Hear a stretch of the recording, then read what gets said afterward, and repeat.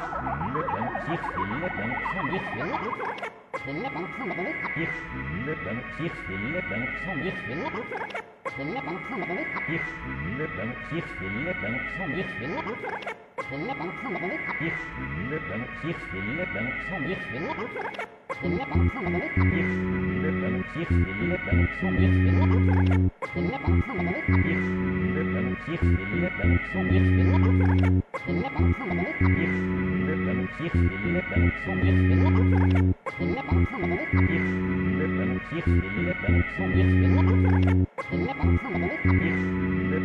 yes, yes,